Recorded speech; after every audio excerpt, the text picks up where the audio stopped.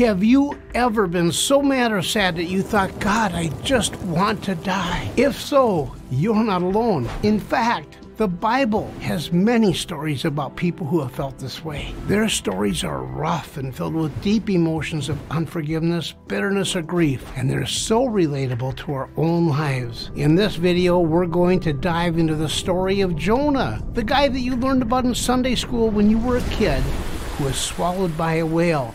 He battled with these same emotions, and as we witness his struggles, we're going to see some amazing new perspectives about ourselves and God. There are exciting things that we may never have seen before. Let's begin Jonah's story after the whale spit him out into dry land when he finally and reluctantly obeyed God's command to travel to Nineveh, a depraved city that was teeming with sin. With a sickening glee, Jonah preached God's message. Forty more days and Nineveh will be destroyed as he relished in the thought of the city's imminent destruction. The problem was that Jonah's message boiled inside an inferno of unforgiveness in his own heart. After all, there was no call to turn from your ways or you need to worship God. Instead, his heart seethed with hatred towards the Ninevites, and he longed to see them obliterated, just like the cities of Sodom and Gomorrah. The huge surprise is how the Ninevites responded. The Bible says that from the poorest person to the king, every Ninevite fasted and poured ashes over their heads in fear and repentance. Can we even imagine if a modern day preacher could convince us to do that? It would be an unparalleled step towards God. Neighbors shaking hands, tears of sorrow, relationships restored. We'd have a victory celebration. And at this, the book of Jonah should have had an ending with something like, And Jonah returned to Israel rejoicing.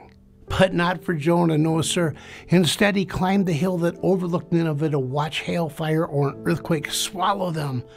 And when it never happened, Jonah was so furious that he even told God, Just kill me now, Lord. I'd rather be dead than alive. Incredibly, we get to see how Jonah, a self righteous religious guy, wanted violence. The very violence that Jonah abhorred about the Ninevites is what also smoldered inside of him. First, he hates the Ninevites. Now he's furious at God for his mercy. And after all, he must have reasoned well, these people were still pagans. They were still uncircumcised, still had not converted to Judaism, and still did not call God Yahweh. All these Ninevites did was repent, most likely because they were simply scared. It was hardly even a baby step in the right direction, yet God spared them. So, Jonah told God, Let me die. I'm better off dead than alive. Let's pause Jonah's story to see how often we're just like him, even when people simply think differently than we do. In our modern world, think of the high levels of divisiveness in politics, racial tensions, vaccine or gender issues. We have such deep anger. Many of us feel like we have a sense of moral superiority, the same way that Jonah did as we say, We are not like those people.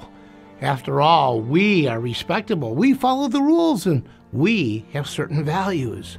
Now, for the best part of today's video, Let's go back to where Jonah cries to God in anger, Kill me now. Amazingly, God responds in a new way that you wouldn't think of. He gently asks Jonah a question Is it right for you to be angry? What a question from God. Think about it, Jonah. Who are you to be angry? Don't you remember how you chose to disobey me? How you almost drowned, but I had a whale swallow you to save you? How you too are so angry towards all those people that you don't even know. Now, let's bring this story back to us. Is it right for us to be so angry? Who gave us the right to put ourselves in a morally superior camp? Can we really step into someone else's shoes and say, well, if I had their background, environment, and influences, I'd never act the way that they did. Perhaps. Instead of getting so mad at others, we need to take a new look at ourselves and remember that we, yes, you and me, are sinners who are only saved by the grace of God. We don't have the right to be angry. But it gets even better because when we remember that God loves us, we no longer have the need to be angry anymore. Suddenly, all the offenses against us are reduced in size. Suddenly, it seems possible for us too to offer grace. Two things are for certain. First is that forgiveness and grace are complicated issues and second is that unforgiveness is a cancer. There is no magic pill, but before this video ends, we hope you'll choose one of these two recommended videos and take the next step towards finding freedom and forgiveness. And if you want to really go deep and cure the cancer of unforgiveness in your heart and in your life once and for all, visit curethecancer.org. We'll see you there.